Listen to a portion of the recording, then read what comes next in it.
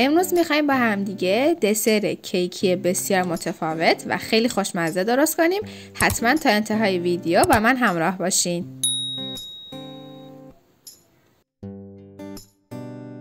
اول از همه با درست کردن دسر شروع می کنیم. داخل ظرفمون شکر، زرده های تخم مرغ و نشسته ذرت رو می ریزیم. با همدیگه یک کوچولو مخلوطشون می کنیم.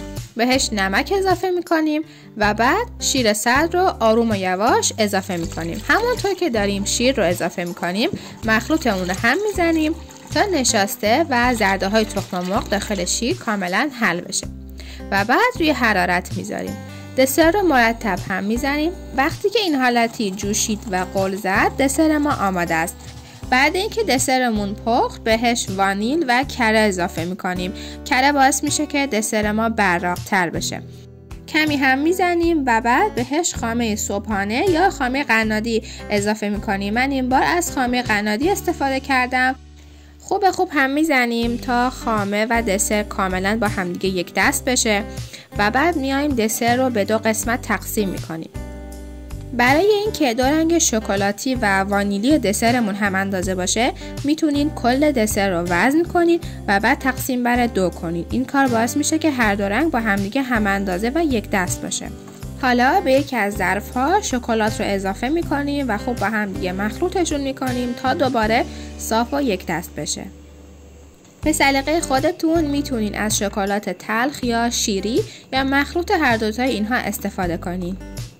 روی هر دوتا ظرف دسر سلفون می‌کشیم تا اصلا با هوا تماس نداشته باشن و بعد می‌ذاریم که حدود دو ساعت داخل یخچال بمونه.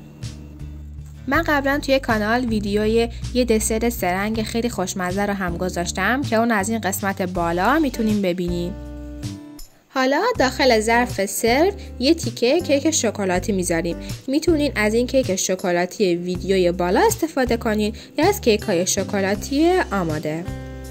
حالا یه دونه قیف رو داخل یه لیوان می‌ذاریم و بعد دسر وانیلی رو داخلش میریزیم. این حالتی گذاشتن قیف باعث میشه که کار ما راحت تر بشه.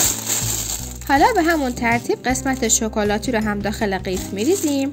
این دسر فوق العاده خوشمزه و آسونه و یه گزینه خیلی مناسب واسه مهمونی ها و دور همیاست حالا نوبت آماده کردن دسره. به نوبت نصف ظرف دسر وانیلی و نصف دسر شکلاتی میریزیم و به همین ترتیب همه ظرف ها رو پر می‌کنیم.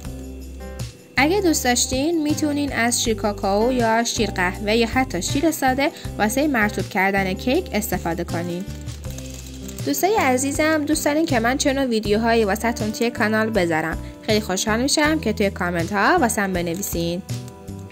به جای ریختن دسر داخل کاسه می‌تونی اونها رو داخل لیوان های کوچولو هم بریزین و لایه لایه پر کنین که به این حالت در میاد. در آخر روی دسر رو با کمی پودر پسته تزیین می‌کنیم و دسر ما آماده است. اینم از یه دسر کیکی بسیار خوشمزه. امیدوارم دوست داشته باشین و لذت برده باشین. مرسی که تا آخر ویدیو با من همراه بودین. واسه دیدن آموزش های بیشتر کانال منو subscribe کنین و روشن کردن زنگوله هم یادتون نره. خیلی دوستتون دارم.